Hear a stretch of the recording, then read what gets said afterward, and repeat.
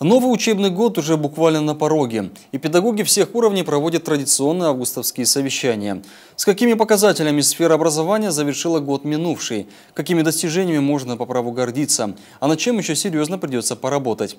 Эти актуальные для системы образования вопросы обсуждают на самых различных уровнях. Вместе с тем, сегодня председатель правительства России Дмитрий Медведев провел селекторное совещание, посвященное готовности системы образования России к 1 сентября.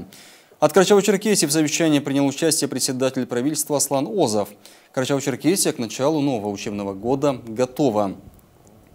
Проверочные комиссии завершили прием всех образовательных учреждений. В этом году впервые в школы нашей республики пойдут 6 тысяч первоклассников.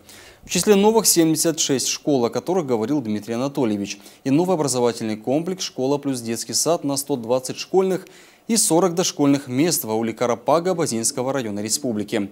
А до конца текущего года будет сдан в эксплуатацию еще один аналогичный комплекс в селе Холоднородниковское Прикубанского района на 180 ученических и 75 дошкольных мест.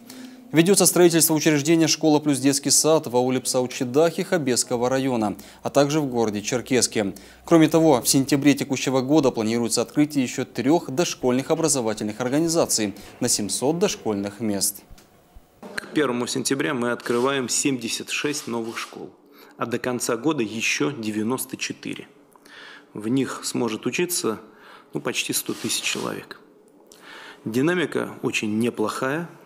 Столько школ, сколько вот мы построили за последние два года, мы не строили никогда.